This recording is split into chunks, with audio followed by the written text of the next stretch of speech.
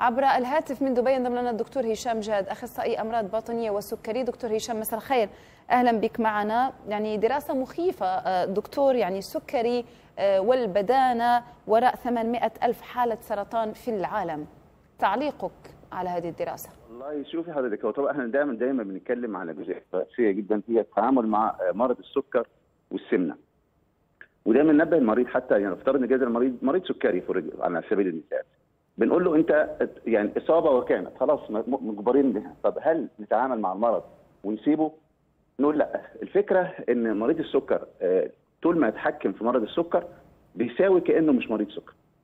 الدراسة هنا بتتكلم على جزئية خاصة بالعلاقة ما بين اكتشافات مرض السرطان والجزئيتين التانيين اللي هم السمنة والمرض السكري.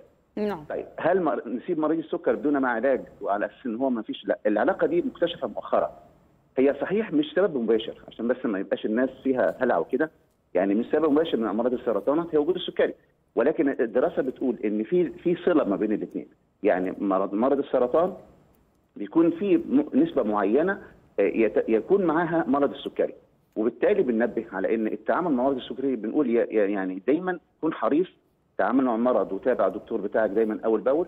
ما تسيبش مرض السكري يرتفع ارتفاعات عالية جدا. وإلا هيكون العرضة للتعامل مع السرطان وارد جدا بالنسبة لك. الكلام برضه ينطبق على موضوع السمنة. السمنة الناس بتاخدها بطريقة يعني سهلة بنقول لأ. هنا موضوع الامتزاج نسبة على 25 أو 25% على اللي بنسميها ال BMI أو ال body mass index أو اللي هي كتله الجسم.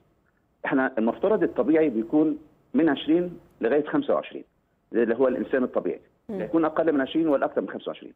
الدراسة أكدت ان إن في صلة تاني ما بين وجود السرطان كعامل وبالذات في أكثر في النساء وعلاقتها بأمراض السرطان الثدي وما شابه وأمراض أخرى تتعلق بالسرطان الخاص بالنساء برضه بتكون معظمهن عند زيادة نسبه كتلة الوزن اللي هي فوق ال 25 فإذا هنا بتقول الدراسة هي صحيح فيها درجة إخافة معينة بس بنأكد على إن يا جماعة مرض السكري لا يستهان به وكذلك السمنة ما ناخدهاش حاجة كده وخلاص.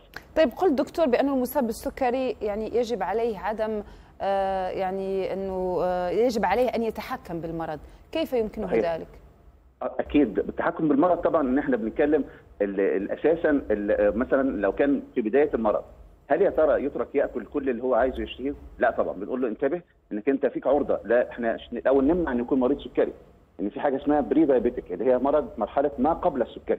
ودايما بأكد على إن اكتشاف هذه المرحلة في منتهى الأهمية اللي هي بتمنع مريض السكر أو الشخص اللي هو معرض ليكون إصابة بالسكر انه ينتقل من مرحلة ما قبل السكري إلى انه يكون مريض سكري. إيه في المرحلة دي المطلوب؟